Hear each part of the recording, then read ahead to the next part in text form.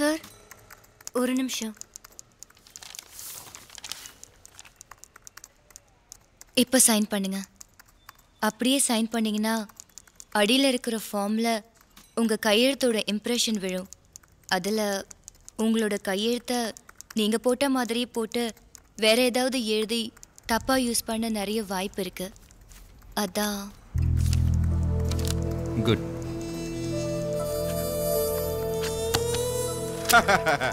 ஏய் தல்லியா என்னையா கலெக்டர்? நான் ஏதோ கலெக்டர்னா பல்லு போன பழைய கிழவனா இருப்பேன்னு நினைச்சேன்.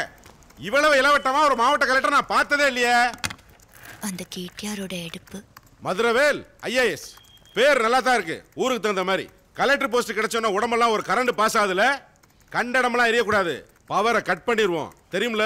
வெந்துடுறா ஏய் நான் அந்த தொகுதி எம்எல்ஏ. இருக்கட்டும். ஐயாட்ட எது கேட்டாலும் கொடுப்பாரு. மரியாதையை மட்டும் கொடுத்தா தான் திருப்பி கொடுப்பாரு. யாரை கேட்டு கேட்டியார் மேல நடவடிக்கை எடுத்த? உயிர் மேல ஆசை இல்லையா? அவனோட உயிர் இப்ப எனக்கு தேவையில்லை. என்ன கிண்டலா? சீரியஸ் பப்ளிக்கு பிரச்சனை பண்றவன் எவ்வளவு பெரிய கொம்பனா இருந்தாலும் நான் சீரியஸா நடவடிக்கை எடுப்பேன். என்னையா பெரிய பப்ளிக் அதே பப்ளிக் ஓட்டு போட்டு தான் என்ன எம்எல்ஏ ஆகியிருக்காங்க மக்கள் பிரச்சனை எங்களுக்கு தெரியும். அப்படியா? சரி சொல்லு. ஒரு கிலோ அரிசி என்ன விலை? ஒரு கிலோ பருப்பு என்ன விலை? எது? நான் பலசர கடையா வச்சிருக்கேன்? என்கிட்ட போய் கேட்டுக்கிட்டு இருக்க? அண்ணா பஸ் ஸ்டாண்ட்ல இருந்து அரசரடிக்கு பஸ் டிக்கெட் எவ்வளவு? அடடடடா நான் போயிட்டு இருக்கிற காரோட சக்கரமே ஒரு லட்சம் ரூபா. இதெல்லாம் போய் என்கிட்ட பேசிட்டு இருக்க? சரி ஒரு லிட்டர் பெட்ரோல் என்ன விலை? அட அதெல்லாம் என் டிரைவர்கிட்ட போய் பேசியா? எனக்கு தெரிஞ்சா கேளியா? ம். குவார்ட்டர் மானிட்டர் என்ன விலை? ஐம்பது ரூபா வாட்டர் பாக்கெட் ஃப்ரீ என்ன அடிச்சுட்டேன் மானங்கெட்ட மானிட்டர் விலை தெரியுது. ஓட்டு போட்ட மக்களோட அத்தியாவசிய தேவையை பத்தி தெரியல. நீ எல்லாம் ஒரு ஐயோ! ஏய், ஓ, ஏய், ஒரு எம்எல்ஏ மேல கை வச்சுல உன்னை என்ன பண்றேன்னு பாரு. இப்ப பாரு. நில்றா. ஆ? நீ பாட்டுக்கு அத்துமீறி உள்ள நுழைஞ்சு ஒரு ஐஏஎஸ் கலெக்டரே கை நீட்டி அடிச்சிட்டு போறிய. இதனோட ரியாக்ஷன் என்னன்னு தெரியுமா? என்னது? நான் அடிச்சுட்டு போறேனா? பின்ன உங்க அப்பா நான் வந்து அடிச்சான்? நீ தாண்டா அடிச்ச? எதுக்கு அடிச்ச? நான் எப்ப அடிச்சேன் இப்பதான்டா அடிச்ச? நீ என்ன கை நீட்டி அடிச்சதுக்கு இவங்க ரெண்டு பேரும் சாட்சி. என்ன? ஆமாம் சார் அடிச்சார். அடிச்சானா? கொலை பண்ண பார்த்தா சார் உங்களை. இப்பயே போன் போட்டு சொல்றேன். All over India IAS officer strike அப்புறம்? நான் சொல்றேன். எம்எல்ஏ பதவி காலியாகும். அடுத்த எலெக்ஷனை நிக்கவே முடியாது. அண்ணே அண்ணே அண்ணா நான் என்னென்ன சொல்லிவிட்டு நாலு ஆளுக்கு இந்த ஆளு சலசுறீங்க என்னடா இளங்கோ அப்படின்னு செல்லமா ரெண்டு தட்டு தட்டுனீங்க. அவ்வளவுதானே? இன்னும் கூட ரெண்டு தட்டு தட்டுங்க வாங்கிக்கிறேன். சமூகத்துக்கு ஒரு சின்ன விண்ணப்பம். நமக்குள்ள நடந்த கொடுக்கல் வாங்கல் வெளியில தெரிஞ்சுன்னா கேட்டியார் ஜட்ஜ்மெண்ட் கொடுத்துருவான். அப்பவும் என் பதவி போயிடும் பல்லு விளக்காம பத்து வருஷம் இருன்னு சொல்லுங்க இருந்துடுறோம். ஆனா பதவி இல்லாம பத்து நிமிஷம் கூட இருக்க முடியாது. நான் பைத்தியம் முடிச்சிரும்னா தெய்வமே பதவி பிச்சை போடுங்க தெய்வமே. போ. இனிமே கட்சியில கூட்டம் போட்டுமா வாழ்க ஒழிகன் கோஷம் போட்டுமான்னு மட்டும் இருக்கும் சரிங்கண்ணா. மறுபடியும் இதே மாதிரி வந்த. ஆ, எதுக்கு நான் வர்றேன்? இந்த ஊரை விட்டே போயிடுறேனா சென்னையில போய் எம்எல்ஏ ஹாஸ்டல்ல என் மகளோட செட்டில் ஆயிடுறேன். ஆ? இது. கலெக்டர் மதுரவேல் வாழ்க. கலெக்டர் மதுரவேல். யோ வாயில என்ன வச்சிருக்க? வாழ்க சொல்லியா? வாழ்க கலெக்டர் மதுரவேல். வாழ்க போற போக்குல நம்மள அவன் கட்சியில சேர்த்துட்டான இன்னைக்கு எம்எல்ஏ நாளைக்கு எம்பி அப்புறம் ஆளுங்கட்சிக்காரன் எதிர்கட்சிக்காரன் எக்ஸெட்ரா எக்ஸெட்ரா இந்த மாதிரி அல்ல கைகளுக்கெல்லாம் என்னால பதில் சொல்லிட்டு இருக்க முடியாது. இவனுங்களெல்லாம் ஏவர அந்த கேடிஆரை நான் மீட் பண்ணோம். ஏற்பாடு பண்ணுங்க.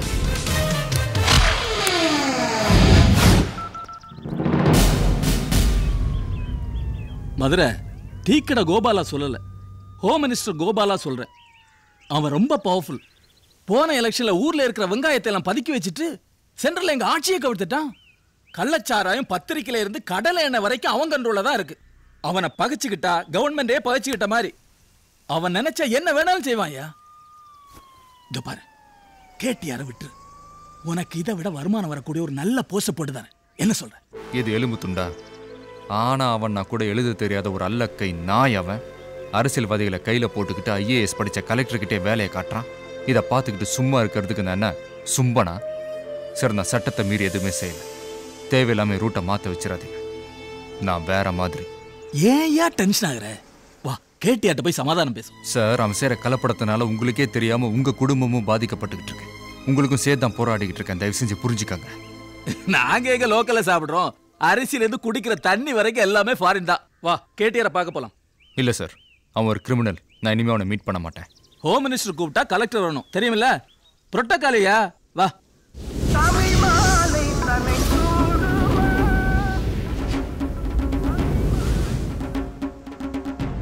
தெய்வமே ரொம்ப லா பேசுறான். நீங்க தான் கொஞ்சம் அனுசரிச்சு போகணும். ஐஏஎஸ் கலெக்டர் வேற. என்னையா பெரிய கலெக்டர் மூணு எழுத்து ஐஏஎஸ் பேருக்கு பின்னாடி போட்டா பெரிய பிஸ்தாவா? நாளைக்கு அவனுக்கு முகூர்த்தம்யா நாளைக்கு காலையில கலெக்டர் ஆபீஸ்ல குண்டு வெடிக்கும். கலெக்டர் காலமாயிட்டான் செய்தி வரும் கண்டுக்காம போயிருப்போம் தெய்வமே அவசரப்பட்டு குண்டு கிண்டு போட்டுறாதீங்க. அது என் தலைக்கு போட்ட துண்டு மாதிரி ஆயிரும். சட்டசபை நடக்குது. என்ன கீழ்ச்சி தோரணம் கட்டிடுவாங்க அவசரப்படாதீங்க. கொஞ்சம் பொறுமையா. ஜனங்களுக்கு வைக்கிற சுட்டு பாயசத்தை எனக்கு வைக்கிறியா? கொஞ்சம் தான் பொறுப்பேன். அவனை வழி கொண்டு வரான் விளையாட்டு காட்டின ஐவேஸ்ல அனாத போன மாதிரி அடிபட்டே சாவ். லாரி நம்பர் நோட் பண்ணிக்கிறியா? தெய்வமே இப்ப என்ன ஆயிப்போச்சு? விடுங்க. நாளைக்கு அவனை நாகர்கோவிலுக்கோ நார்த் இந்தியாவுக்கோ ட்ரான்ஸ்ஃபர் பண்ணிடுறேன்! நான் அவனை ட்ரான்ஸ்ஃபர் பண்ண சொன்னா எனக்கு நினைவு தெரிஞ்சனால என் முன்னாடி விரல சுண்டி பேச இவன் மட்டும்தான்டா. இவன் இங்கேயே என் கண்ணு முன்னாடியே என் கண்ட்ரோல்லயே இருக்கணும். என் செல்வாக்க புரிஞ்சுக்கிட்டு எனக்கு சேவகம் பண்ணிக்கணும்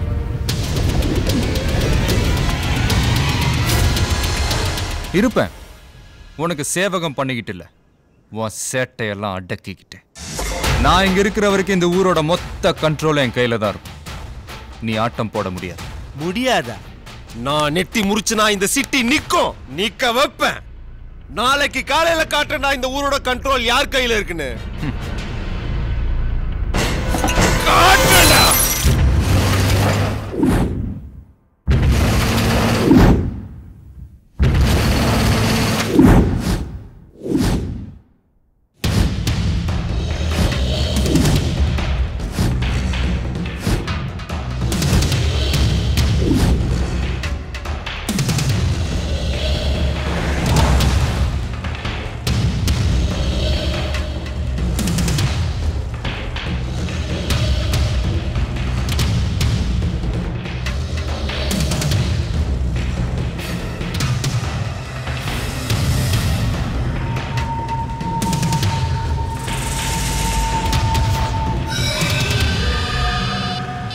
என்ன வேல் மதுரை வேல் பாத்தியா சிட்டில ஒரு ஒரு சக்கரம் சுத்தல.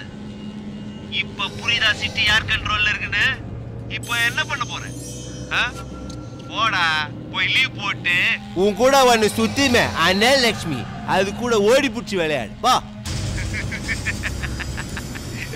என்னடா பயமா இருக்கா? ஆ?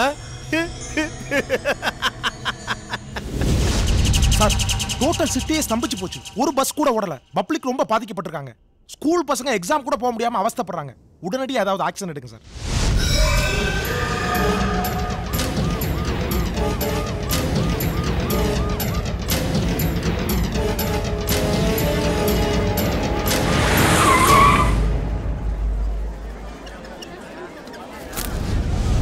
குழந்தைங்களுக்கெல்லாம் பரிச்சைக்கு நேரமாச்சு. பஸ் எல்லாம் எப்படி அடுப்பீங்க யோ போயா போய் கலெக்டர் கேளு. சிட்டி கண்ட்ரோல் அவர்கிட்ட தானே இருக்கு. என்னைய பேசுற நீ? எங்களை வந்து கேக்குற? போய் அந்த கலெக்டர் கேளியா. ஏம்பா சொல்லுங்களேன்பா யார் என்ன சொன்னாலும் பந்து பந்து தாப்பு தெய்வம் தாப்பு முக்கியம். கலெக்டர் இல்ல. ஆமாமா. அத்தியாவசியமான போக்குவரத்தை திடீர்னு நிறுத்துறது சட்டப்படி குற்றம். முதல்ல பஸ் எடுங்க. தெய்வம் பஸ் கொளுத்திட்டா? நான் பாதுகாப்பு தரேன். எவ்வளவு நாளைக்கு? நீங்க டிரான்ஸ்ஃபர் போயிருவீங்க. நாளைக்கு செட்ல பஸ் நிப்பாட்டினா காலையில எலும்பு கூடு மாதிரி நிக்கும். தெய்வம் பஸ்ஸை கொளுத்திடும் நான் மட்டும் இல்ல சார். இங்க நிக்க எல்லா பஸ் மேலே அதான் சொல்லுவான். இது சட்டப்படி குற்றம். இருந்துட்டு போகுது. தெய்வம் சொல்லாம நாங்க எதையும் செய்ய மாட்டோம். போய் தெய்வத்தை சமாதானப்படுத்துங்க. அதான் ஜனங்களுக்கு நல்லது உங்களுக்கும் நல்லது. சார் ஒன்பது மணிக்கு எக்ஸாம் சார். ப்ளீஸ் ஏதாவது ஏற்பாடு பண்ணுங்க sir. Please sir please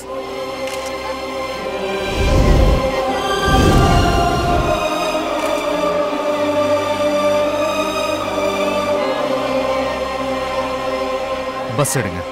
அதான் தெய்வம் கொளுத்துறாருன்னு சொல்றோம்ல. கேடிஆர் கொளுத்திடுவான பயந்து நீங்க பஸ் எடுக்கலனா இப்ப நான் பஸ்ஸை கொளுத்துவேன். ஏலே, பூச்சாண்டி காட்டுறாரு பாரு. பஸ்ஸை பாதுகாக்க வேண்டிய கலெக்டரே பஸ்ஸை கொளுத்தோம்ங்க கதையை கட்டியா?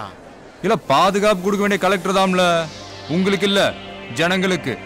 கேடிஆர் கொளுத்துனா கிரிமினல்ல நான் கொளுத்துனா கலவரம்ல. கேஸே இல்லல்ல. நீங்க சட்டம் கோட்டுன்னு படிச்சவங்க தம்பி கொளுத்துறதுக்குலாம் ஒரு தில்லு வேணும்ல. எங்க? கொளுத்துங்க பார்க்கலாம்.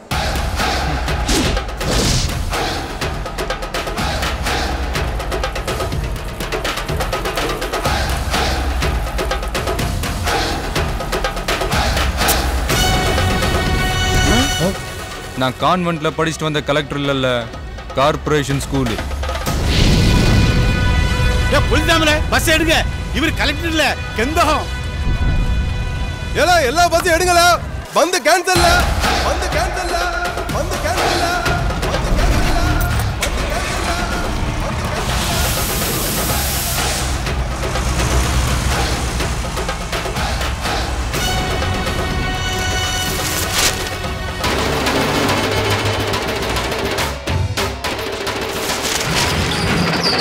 தெய்வமே பந்த கலெக்டர் முறியடிச்சிட்டான்.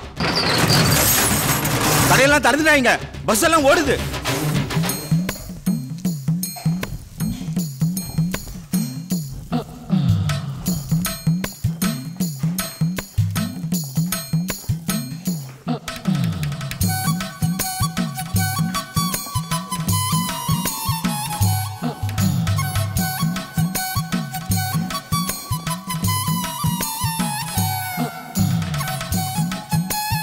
என்னத்த அப்படி பாக்குறீங்க? மசாலா பக்குவமா இருக்கிறியான்னு பாக்குறேன். புதுசா வேலைக்கு வந்திருக்கேல்ல உன் பவுசன்னு பார்க்க வேண்டாமா? உத்து உத்து பார்த்தாலும் குத்தம் பார்க்க முடியாதியா? இந்த வள்ளியோட கைப்பக்குவத்தை வாடிப்பட்டியில வந்து கேட்டு பாருங்க. வாயடைச்சு போயிருவீங்க அப்படியா? டேய் சுப்பு அந்த காடையை பரட்டி போடுறா திஞ்சிட போகுது. அது சரி எங்க தங்கி இருக்க அரசரடியில தான் இம்பிட்டு சொல்ற உன்னை என்னது? அட புள்ள. மேஸ்திரி கடல் எண்ணெய் எங்க இருக்கு? எல்லா எண்ணெயும் எடுத்துக்க புள்ள ஸ்டோர் ரூம்ல இருக்கு. ஸ்டோர் ரூம் எங்க இருக்கு? என்ன புள்ள இம்பிட்டு வேகமா இருக்கா? எவனாச்சும் பார்த்தானா என்ன போட்டு தள்ளிடுவேன். எல்லாம் சாயங்காலம் வச்சுப்போம்.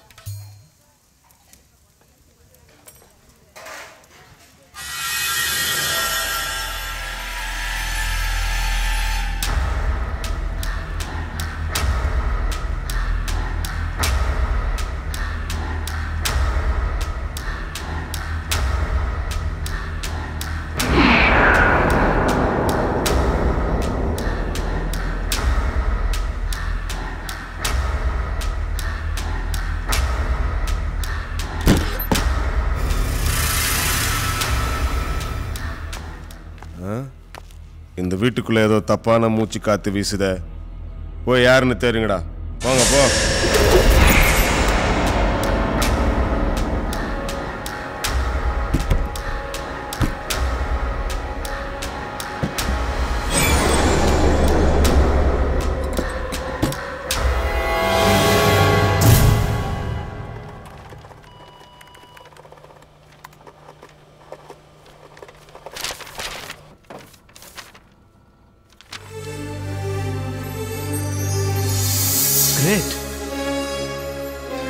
யார் அனுப்புனான்னு தெரியலையே.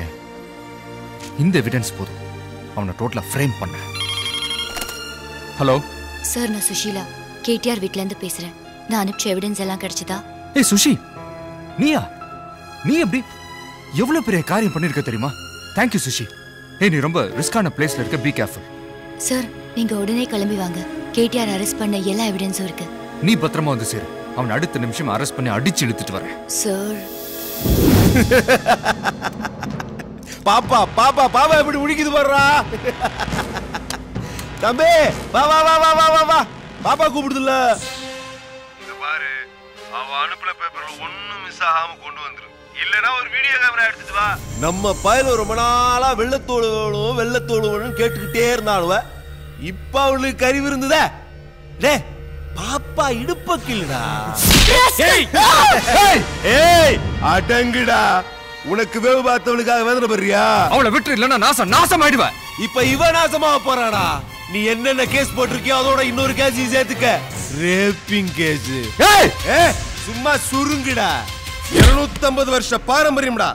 மன்னர் காலத்துல இருந்து எம்எல்ஏ எம்பி மினிஸ்டர்னு ஆட்டிருவியா நீ? அவ்வளவு சீக்கிரம் ஆட்டிருவியா நீ? எத்தனை பேரை பார்த்தவனா என்னை எதிர்த்தவனே சாம்பலா கூட மிஞ்ச கூடாது நினைக்கிறவன்டான்னா என் நெஞ்சில மிதிக்கிறியா நீ? வா வா வா பேப்பரோட வா. நான் துப்பாக்கியோட காத்துக்கிட்டு இருக்கேன்.